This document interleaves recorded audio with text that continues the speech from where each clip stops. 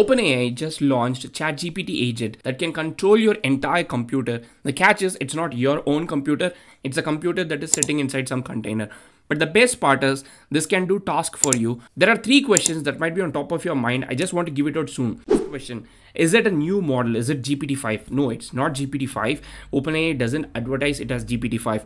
If you have used GenSpark, if you have used Manus, then this is very similar like that. Number two, when will I get access to it? If you're a pro subscriber, if you're a plus subscriber, OpenAI says that you will get access it, you will get access for it today. I've not gotten access until now, but they've promised that you will get access, except if you're in Europe. But if you're a free user, then you might have to wait for a very long time. The third question is, is it groundbreaking? Is it like something magical? No, it's not. It is something like Manus or GenSpark or even uh, like one level below Comet, Perplexity Comet, because it's not a dedicated browser. It is all happening inside OpenAI's ChatGPT interface.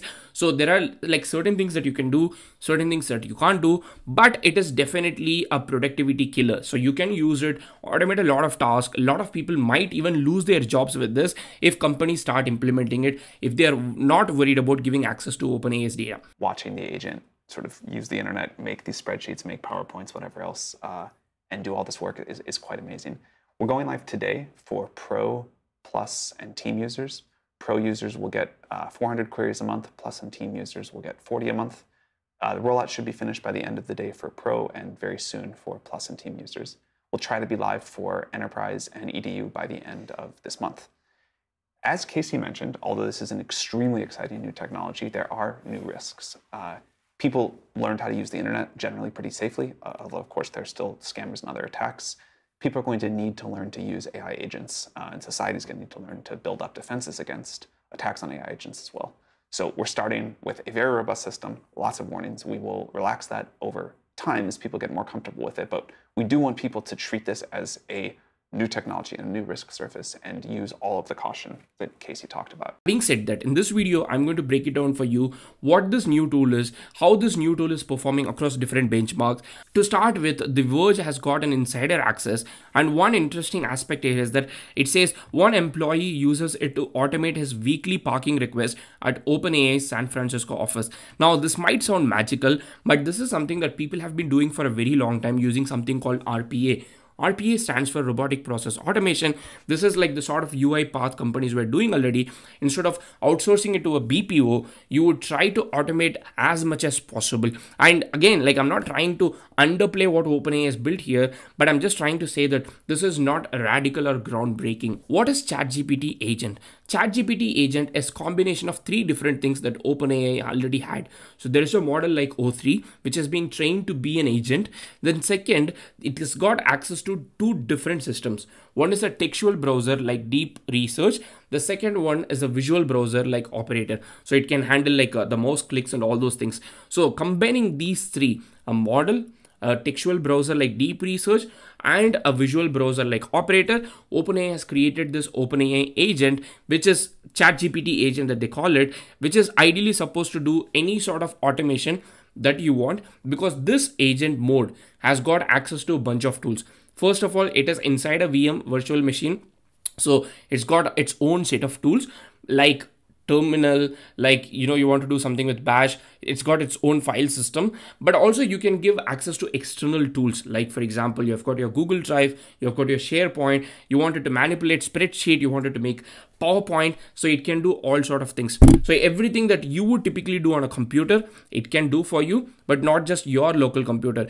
Openai has been like saying extensively that you should be very careful when you're using it. But i think this is something that they've been always telling us to be cautious. There are a lot of interesting benchmarks but one benchmark that caught my eye is something that they call as a spreadsheet bench. I think this is a very interesting and important benchmark because a lot of big companies like Fortune 500 companies have got uh, one tool that is ubiquitous, that is spreadsheet. Whether it is Google Spreadsheet, Microsoft Excel, LibreOffice, this is something that people use across industries, across companies. And on, on, on this particular benchmark, Human has scored 71.3% and OpenAI's latest model with file access, with the actual XLSX file, the actual spreadsheet file, it has scored 45%. I would say it's quite an impressive thing because a lot of people's daily job is to open a spreadsheet, enter something, do some kind of calculation, write some kind of formula, close it, save it, make chart, do automation. This is this is exactly what a lot of people I personally know have been doing for the last 5 to 10 years. And this model comes along or this tool comes along and then says, hey, I can do 45% of that thing. I mean, forget about 45%, even if 35%, in kind of automation that you can do, the kind of manpower that you can save, number of people that companies would be willing to fire would be ginormous, ginormous would be ginormous. And this is this is a very good benchmark. One thing that openai has cleverly done across all the benchmark is they've not compared it with any third party. Like most of the cases they've not compared it with any third party tool like manus or genspark. They've been comparing it with their previous model which is kind of absurd because those are not agentic models. They never had access to tools and browsers. I mean it's quite obvious right? You take a kid and ask the kid to answer 10 questions. Then you take the same kid and tell the kid i'm going to give you google chrome and i'm going to give you google access and then you can answer it using that. It is obviously going to do better. I mean it's not just llms like humans can also do better. Good thing about this particular tool is that this tool is not just like an instant answering tool.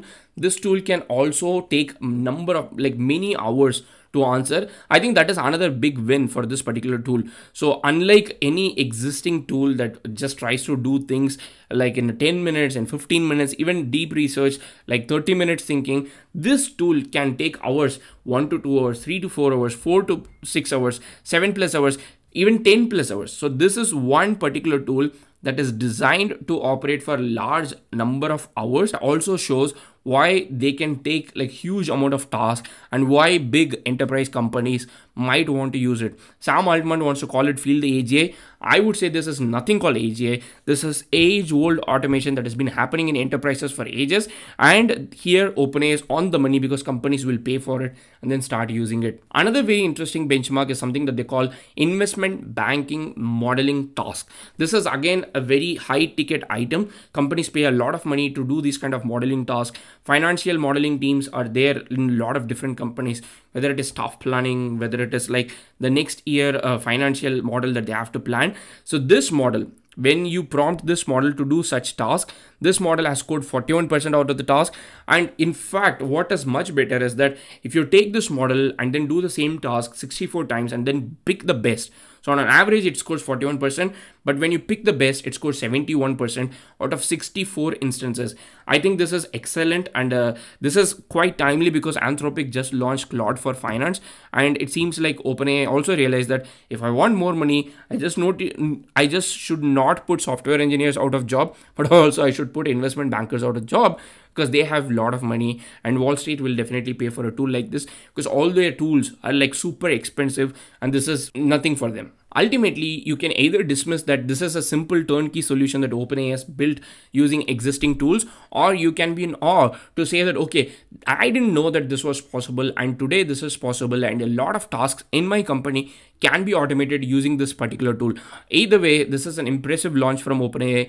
Nothing groundbreaking, nothing AGI, nothing GPT-5, but simply something that can provide a productivity killer for a lot of people on boring, mundane tasks. But if you are one of those people in that boring, mundane task, then you should start making good career choices at this particular point because you don't want to be fired by a tool. Obviously, companies will take time to sign this data privacy agreement with OpenAI before they can fire people. This tool is another testament to say that AI is coming for your jobs, my job, everybody's job. And if you are not going to be fired, at least better use the tool and then stay in the job. Let me know what you think about this model. See you in another video. Happy prompting.